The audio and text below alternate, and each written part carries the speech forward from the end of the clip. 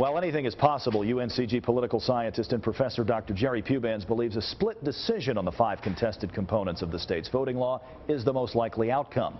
No matter what happens, though, the implications are huge. Some would have a greater impact on minority groups than others, uh, if only because, not because of racial issues necessarily, but for socioeconomic reasons. The ability to get to the polls. The Voting Rights Act deals with any uh, provisions of electoral law that might, in fact, impair the ability of a minority group to vote in the same way that it would a majority group.